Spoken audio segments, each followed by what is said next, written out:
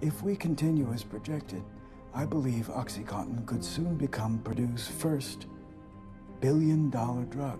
Is that so? How soon? Less than three years.